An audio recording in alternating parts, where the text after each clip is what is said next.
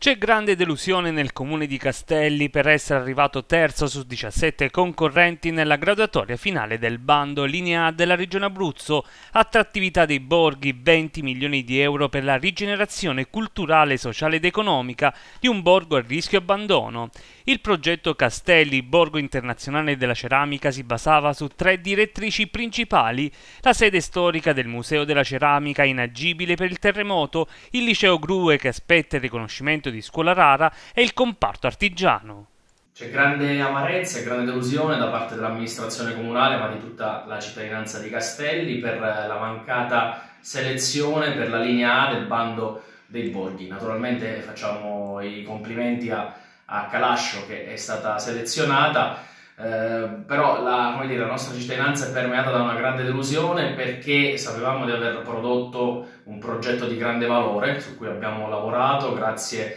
alla collaborazione del COPE e dei progettisti di Unico Gran Sasso e soprattutto ha messo in piedi una importantissima rete istituzionale, diciamo tutte le istituzioni del territorio provinciale, quelle accademiche, quelle del territorio, la Camera di Commercio si erano strette intorno a Castelli e tutti tanti, tanti soggetti del mondo della cultura, dell'informazione, dell'arte si erano espressi in favore dei castelli, ricordiamo importantissime istituzioni museali come il Museo dell'Ermitaggio di San Pietroburgo, che eh, insomma spingevano per questa progettualità. Purtroppo eh, le cose sono andate diversamente. Il mio auspicio oggi è che tutta questa progettualità eh, prodotta, tutta questa energia eh, per il rilancio di Castelli non venga dispersa, che la Regione ne tenga conto e che vengano individuate nuove e future fonti di finanziamento per permettere appunto che queste importanti